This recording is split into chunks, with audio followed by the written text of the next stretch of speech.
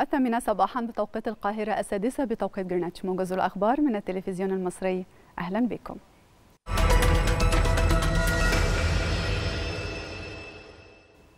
عقد الرئيس عبد الفتاح السيسي اجتماعا لمتابعة مستجدات الوضع الاقتصادي في ضوء التطورات الإقليمية والدولية.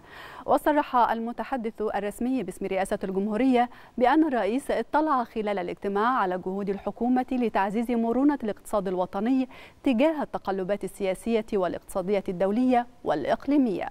موجها بمواصلة العمل على تطوير البرامج والمشروعات الاقتصادية الوطنية بما يعزز من قدرة الاقتصاد على مواجهة التحديات الراهنة.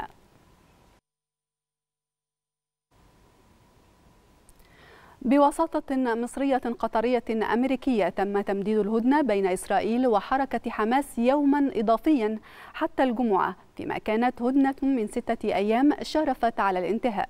يأتي هذا في الوقت الذي أفادت اللجنة الدولية للصليب الأحمر بنجاحها في تسهيل إطلاق سراح ونقل 16 محتجزا في غزة. وأعلنت اللجنة الدولية للصليب الأحمر عن إطلاق سراح 30 فلسطينيا من السجون الإسرائيلية في سادس عملية إفراج من نوعها بموجب اتفاق الهدنة المؤقتة.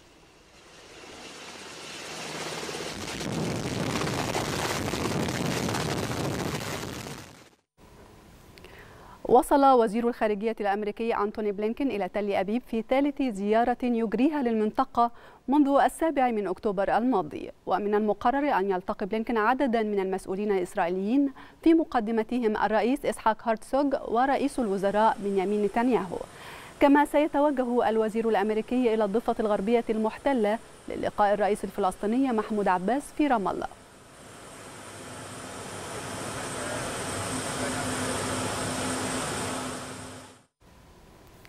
استشهد شاب فلسطيني وأصيب أربعة آخرون برصاص قوات الاحتلال الإسرائيلي خلال مواجهات أمام سجن عوفر العسكري في بلدة بيتونيا غرب رام الله.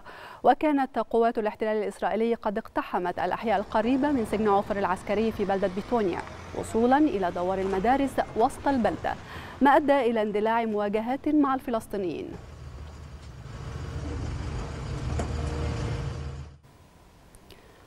قال وزير الخارجية الفلسطيني رياض المالكي إن الشعب الفلسطيني يواجه تهديدا وجوديا جراء العدوان الإسرائيلي على قطاع غزة. وأوضح المالكي خلال اجتماع لمجلس الأمن الدولي أنه لا يوجد مكان آمن في قطاع غزة خاصة بعد تدمير مقرات الأمم المتحدة والمدارس والمستشفيات مشددا على ضرورة التحرك الدولي لوقف العدوان الإسرائيلي. أعلنت منظمة الصحة العالمية أن النظام الصحي في غزة يعاني من شلل بعد أسابيع من العدوان الإسرائيلي على القطاع المحاصر. وقال المدير العام لمنظمة الصحة العالمية تدرس أدهانوم إنه لا يزال 15 مستشفى فقط. من أصل 36 في غزة يعمل بكامل طاقته. مشيرا إلى أن هذه المستشفيات مكتظة بالكامل. وأضاف أدهانوم أنه في شمال غزة لا تزال تز... ثلاثة مستشفيات فقط من أصل 25 تعمل وأنه تم تقليص الرعاية هناك إلى أدنى مستوى.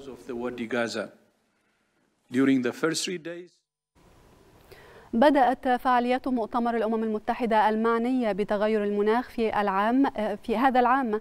كوب 28 في دبي وتستمر أعمال المؤتمر حتى الثاني عشر من ديسمبر القادم وهو الثامن والعشرون لزعماء العالم لمواجهة ظاهرة الاحتباس الحراري. منذ انعقاد مؤتمر الأطراف الأول في عام 1995 في العاصمة الألمانية برلين.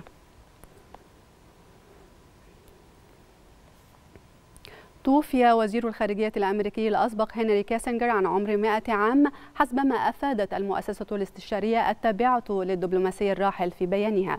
وكان كيسنجر وزيرا للخارجية في عهدي الرئيسين نيكسون وفورد وأدى دورا دبلوماسيا محوريا في وقف إطلاق النار خلال حرب أكتوبر عام 1973